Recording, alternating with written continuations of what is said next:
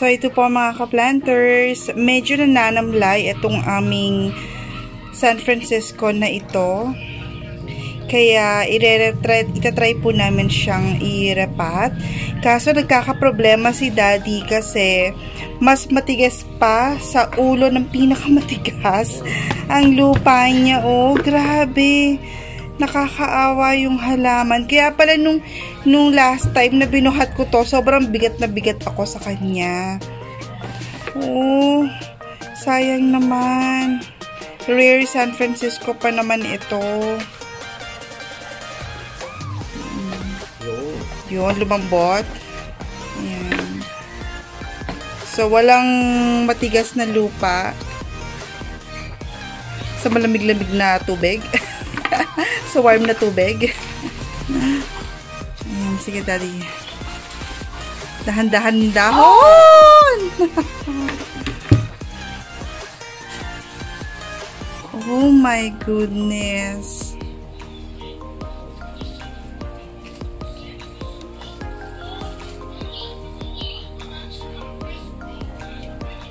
Maganda naman yung ugat niya. Alam mo, tigas ang bungo. Ang bungo. Yan si daddy. Nagpapahinga siya sa taas kasi sobrang sobrang dami niyang ginawa. From lunch hanggang ano, kani-kanina. Tapos yung napansin nga niya po yan habang namamahinga siya na parang matamlay. Ayan. Putik talaga, putik. Putik talaga daddy. Burak ba? Putik. Putik. Grabe, nakakaawa yung halaman, oh. Ay, ang cute ng sako. Saan galing yung sako na yan? Maliit. Cute size na sako. Saan galing yan? Sasubuhan. Sa buhangin. Ayan, so... try natin diskartehan. Tatry daw diskartehan ni daddy. Kasi sobrang, sobrang tigas. Baka kailangan, ano, basain mo ulit dati para lumambot siya. Ibababad natin. Halimbawa. Pwede. Para pag nakababad siya, di ba, mas lalambot siya. Tapos tsaka na lang doon natin siya tatanggal-tanggalin. What do you think? Babahan na. Oo. So, baka meron tayong parang palanggana dyan. Ay, dyan nasa paso na rin. Paliguan na natin yung tubig. Ayan, mapapaliguan na daw ni Daddy. Siguro po kung kayo ay nakatira sa mga subdivision na ano, nakasing size nung sa amin, ay talaga pong makaka-relate po kayo sa space, 'di ba na meron po tayo sa sa bahay. So, babasain lang muna siya. Ayan, Daddy. Kinukutsara mo na, Daddy. Diba? Ito yung kauna-unahang halaman na kinutsara ni Daddy. Sige, basain mo pa.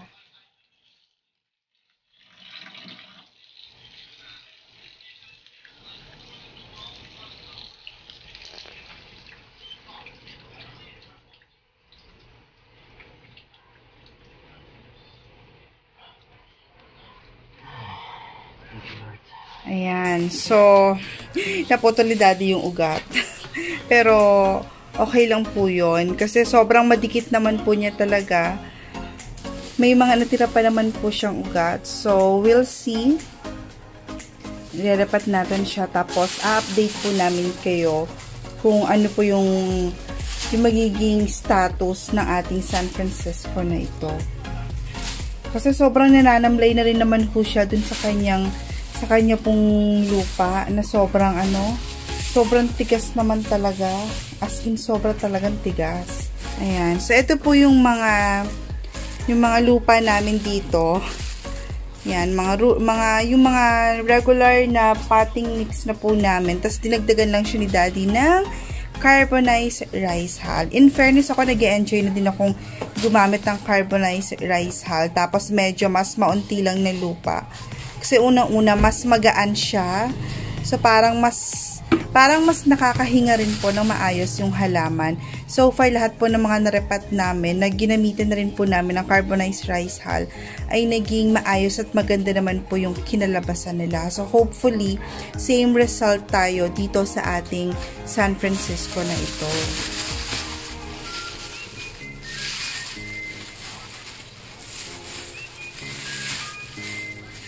Yung aming ano container na panghalo ng mga lupa nasa taas kasi. Biglaan lang kasi itong iyaano ni daddy. Yung tipo, ito po yung mga biglaang repating lang talaga, no daddy? As in, mga biglaang biglaan lang talaga.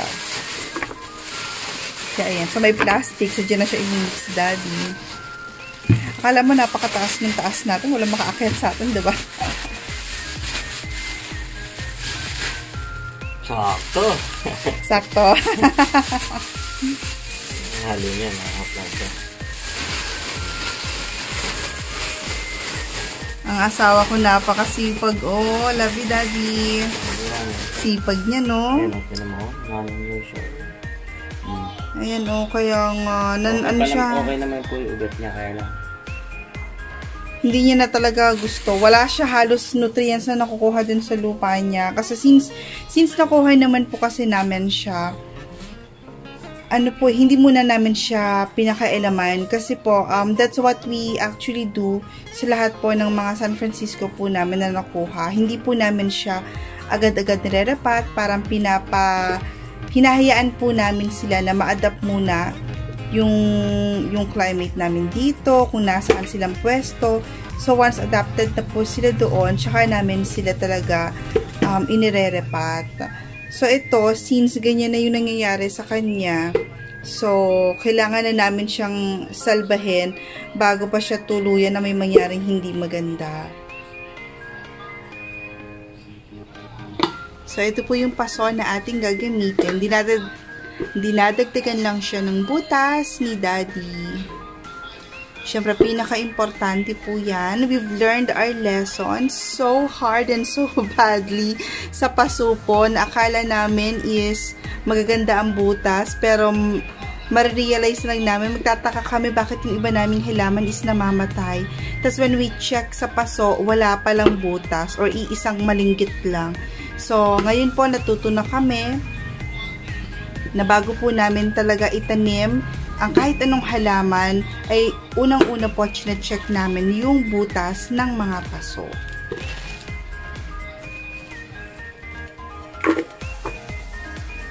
So, nilagyan ni daddy ng coco chunks or coco cubes po sa ilalim to make sure na hindi mababarahan yung, yung mga butas ng ating paso. Gusto mo siya lagyan ng osmocot. Ah, wag na complete na lang, no? May vermicast, may vermicompose. Ayan. So, kanina po pala, hindi ko pala nasabi yata, nagdagdag din po si daddy ng vermicompose dun sa kanyang potting mix. Ayan. Promise mga ka-planters. you can also use carbonized rice hull sa inyo pong mga potting mix. Sobrang ganda po talaga sa mga halaman. Kasi, kasi magaan siya. Tapos, ano, additional nutrients din po talaga iyon sa mga halaman, di ba, Daddy? Iwas fungus pa din. Iwas fungus pati, yes. Very true. Kaya nung natutunan po namin yung paggamit ng carbonized rice hull, ay talagang yung mga halaman namin na hindi masyadong Actually, ito, maganda. Ano to? Carbonized rice hull. Tapos yung rice hull talaga, Mm, tapos, vermicompost. Tapos coco peat. yung Parang equal-equal lang lahat.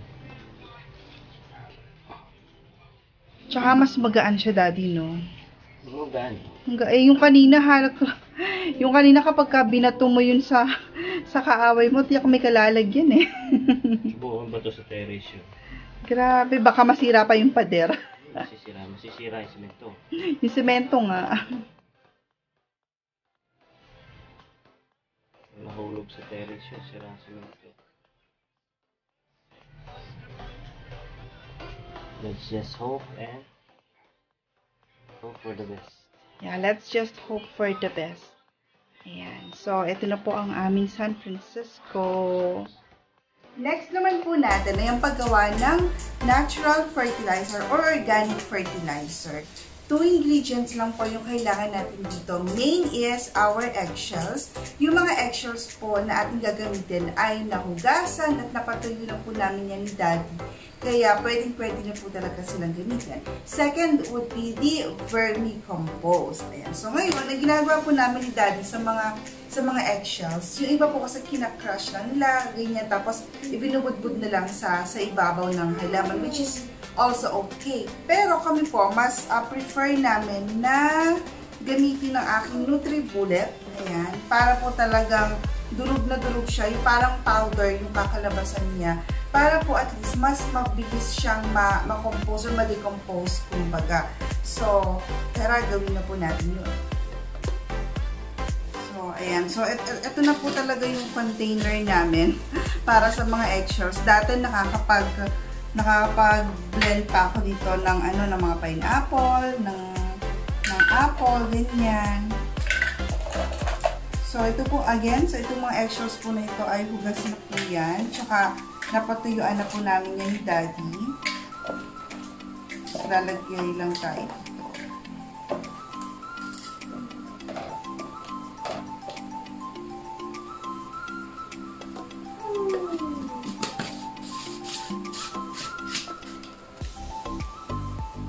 Kagandahan lang po sa sa Nutribullet kasi is napakabilis lang yung gawin.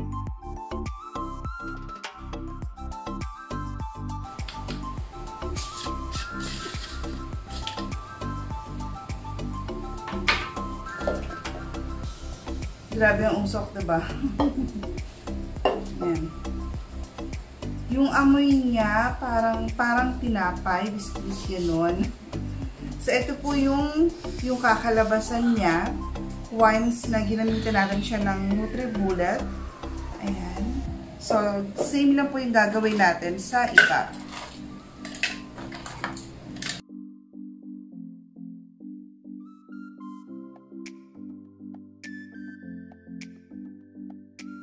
Ayan. And every time nagagamit po tayo ng Nutri-Bullet ng ganito is hindi siya dapat tatagal ng more than 30 seconds. Ayan, o, oh, diba? Mas powdery pati siya tingnan. Grabe yung uso.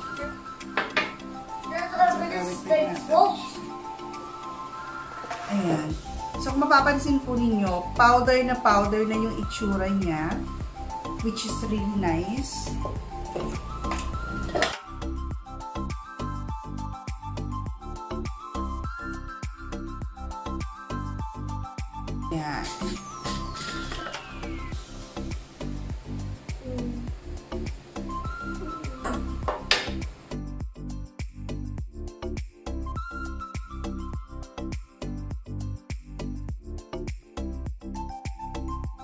Siguro po itong mga eggshells na ito, mga 20 eggshells, mga more or less mga ganun po siya. Tapos pagka ginawa mo siyang powder, ganyan lang siya. Oh. ba? So imagine kung isa-isang itlog ilalagay mo sa isang isa dalawang itlog sa isang halaman, kumbaga. So maunti lang yung malalagay natin. Pero sa pagkaginanto mo siya, tapos sinamahan pa natin ng ng vermicompost, mas marami tayong halaman na malalagay din po. So, ito na po yung kinalabasan. Kung mapapansin niyo ay sobrang powder na siya. Naging powder na po itong ating mga eggshells. Tapos, ito yung ating vermicompost. Ayan. Vermicompost, sa dulay po namin yung binili for 20 pesos. Kami ni Daddy, preferred po namin talaga ang vermicompost compared sa vermicast. Kasi, kasi ayoko yung may mga ano, bula-bulat eh. So, lalagay tayo dito. Tansya-tansyahan lang po. And make sure pala, 'di ba, na meron na tayong naka naka-allocate na kutsara. 'Di ba? So yung ito po kutsarang ito, ito talaga yung kutsarang ginagamit din po talaga namin ni ni Daddy every time na magaganito kami. Yan. Kasi um nung mga previous plant haul namin, plant tour ganyan, marami po nakakapansin kung ano daw yung parang may puti-puti. ba diba? So, eggshells po yun. Ang eggshells po kasi ay napakagandang source of calcium para din po sa ating sa ating pong mga halaman. Ayan. Since growing season nila ng ating mga plants ay napakaganda po talaga na na ma-fertilize natin sila. Kasi kung, kung palagi naman din osmocot yung gagamitin natin, unang-una is low release siya. Pangalawa, ay may kamahalan. Ay ang vermicompost, 20 pesos lang. Tapos yung eggshells, ba? Alam niyo naman tayo, kami especially kami, yung family namin, napakahilig po namin talaga sa itlog. Kaya napaka-perfect nito para sa aming mga halaman. Tapos medyo uh, maano po yung panahon niyan, hindi masyado mainit. Kaya kaya mas okay na maglagay ngayon ng ganito sa ating mga halaman, especially sa aming balcony. Yung mga nasa baba kasi namin, nalagyan na siya ni Daddy last time. Pero itong nasa balcony, hindi pa. Ayan. So, kung titingnan nyo, sa mukha na siyang cookies and cream. ba diba? So, halo-haloin lang natin. So, ilang halaman na rin po yung, yung malalagyan natin ito. Ayan, oh. And happy Easter po pala sa ating lahat. Tsempong-tsempo pala itong ating ginagawa ngayon, ba diba? Eggshells. Happy Easter.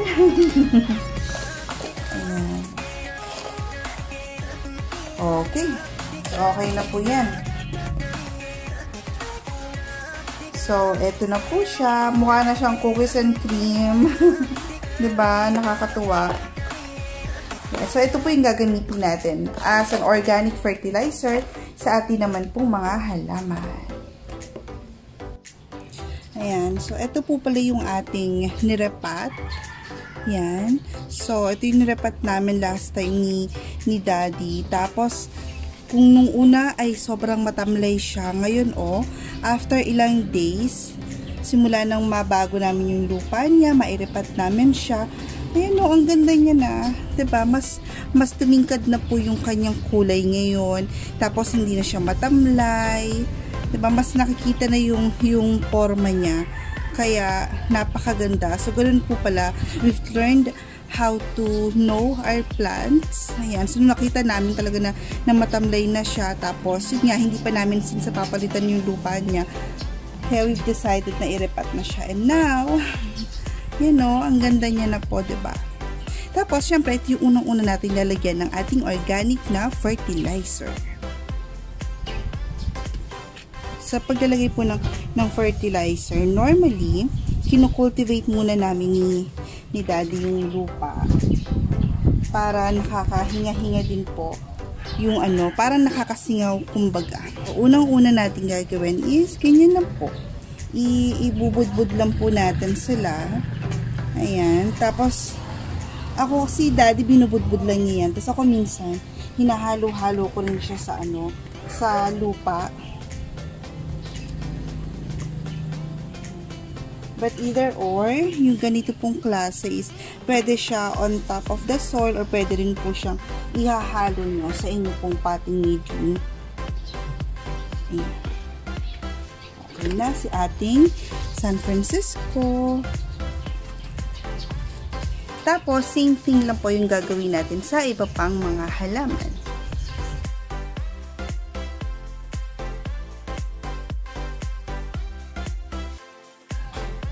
So, kung mapapansin nyo, itong ating si variegated peace lily, since inakyat namin siya, mukhang magkaka-baby na siya. Ito oh. Ang cute. Mukhang magkaka mukhang magkaka-baby na po siya, ba? So, lagyan din natin ito. Hindi pa rin ho kami actually tapos ni ni Daddy sa pag-aayos ng mga halaman kasi since tumitindi po yung init ng araw, parang kinikilala pa namin isa-isa din yung mga halaman po namin kung sino ba yung mas matindi sa init ng araw. Ganyan-ganyan lang po.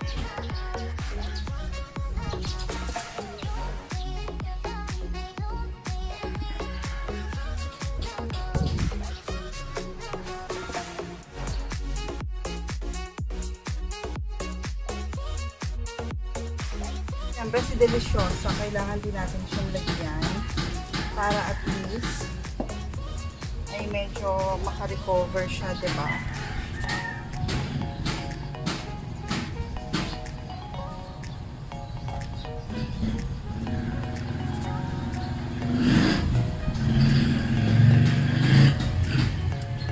Lumalaki na siya.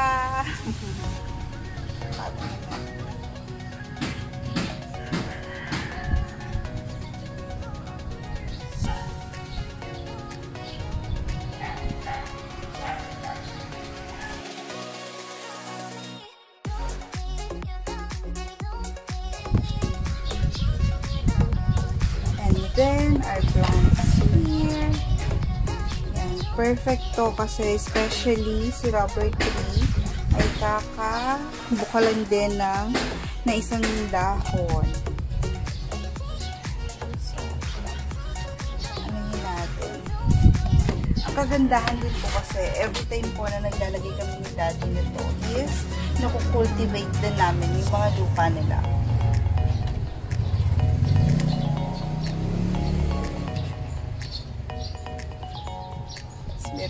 Sulok. diba? Marami-rami pa rin po kami kailangan din mai-repat ni daddy. Mga ka-planters, kita niyo ba yung melinoni ay namin? Super lush. Ilan na rin yung anak na to.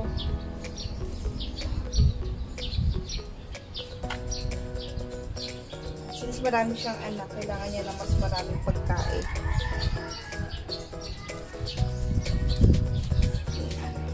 Yung ating variegated na plumeria pudica. Medyo nalaki na po yung mga dahon niya. So, mas mas i-boost pa natin, diba?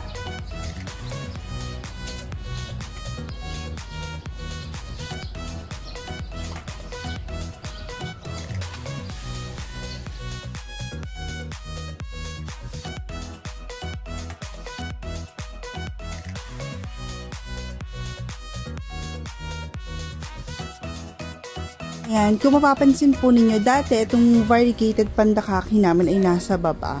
But uh, since um, tag-init na, so we're hoping na, na mas lalago siya dito tsaka mas gaganda. Do sa baba, maganda naman siya sa morning sun. Pero i-experiment namin ni daddy, titingnan po namin kung mas maglalash ba siya or kung mas magugustuhan niya dito sa, sa taas. Yan. So bigyan din natin siya ng ano, ng food. diba?